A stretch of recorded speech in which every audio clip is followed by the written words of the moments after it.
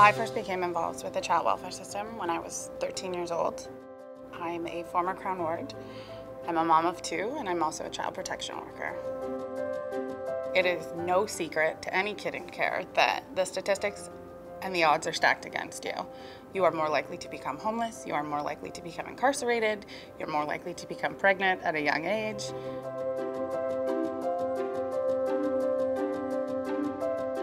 Being a kid in care, you're never sure if you're doing the right thing. Even just as like a member of society, you sort of want to bounce ideas off of, you know, parents and stuff. And like, is this a good idea? Is this a bad idea? Like, I'm not, I'm not sure. When I was 13, um, I didn't really even know what family meant.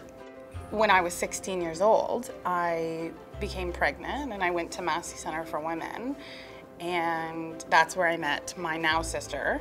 I was going over to her her parents' house for dinners and stuff in it, and and that's how sort of the relationship sort of grew, and and I was able to make that permanent connection with her parents, which are now my parents.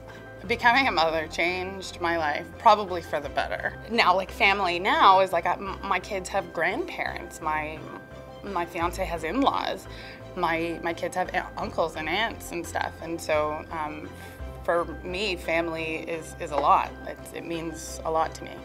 Like, I remember getting my foundation letter that I had received a scholarship. And I remember being like, oh my God, I have to call mom and dad. Like, I have to call them. And I think reflecting back, I was like, what, who would I have called if, if I didn't have them?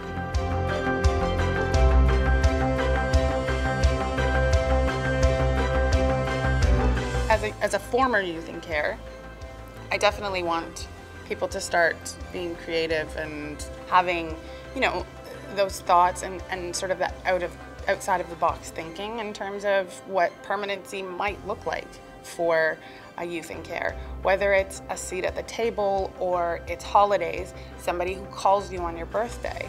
Youth in care have so much potential and they have so much to offer and so much to give. Why wouldn't we invest in that?